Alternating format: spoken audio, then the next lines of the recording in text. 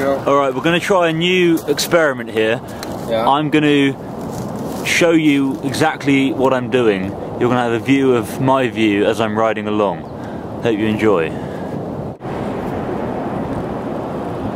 Every day it's a getting closer, getting closer like a roller coaster.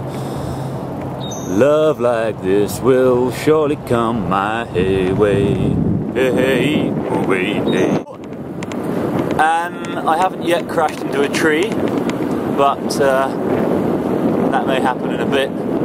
So, this is lovely, I have to say. It's brilliant. What an amazing, amazing view. Well, not a view really, but amazing feel. You can't feel what I'm feeling, but you can see what I'm seeing. Alright, that's enough. Adios. There's Oggy going up a hill. Oggy, anything to say? Very tiny hill this time. Yeah, this is a tiny hill. This is like a baby hill. The monster yesterday was Fetus, not even a baby. not even a baby, it's a fetus. It's half a fetus. It's the little toe of a fetus, this hill. There's a waterfall underneath us.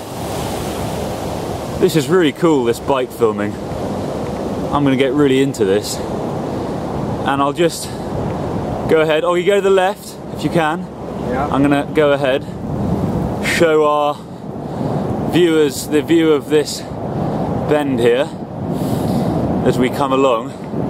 Talk about interactive.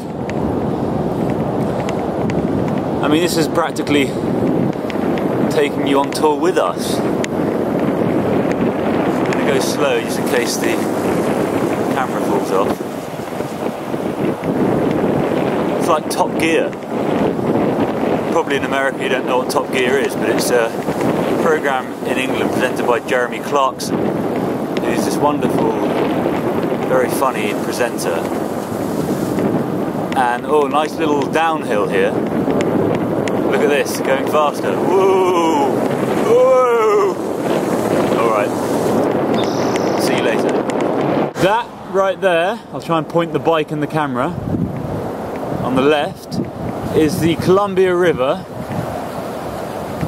Oh no, it's not. It's a pond. Nope, it's a pond.